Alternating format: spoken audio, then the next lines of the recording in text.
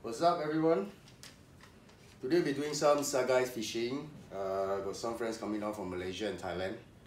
And we'll be fishing around the southern part of Singapore, you know, where the some coral reef over there. And I'll be using this Axis 2003 FH. Loaded with pinky line 2.3 pound. So catch up the action with some sagai.